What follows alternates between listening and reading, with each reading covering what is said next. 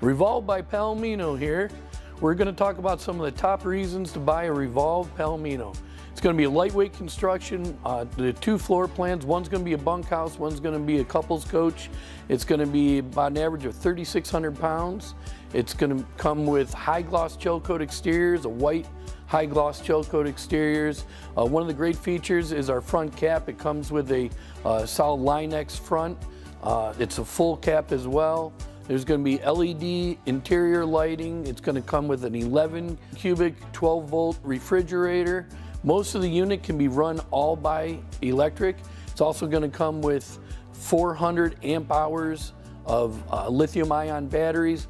Uh, with as well, you're going to get a thousand watts of solar on top of the unit. There's going to come with a Dexter torsion axles that comes with a 10 year warranty. We're also going to be made with the Azdel construction. Those are just some of the reasons to come and buy the Revolve by Palomino.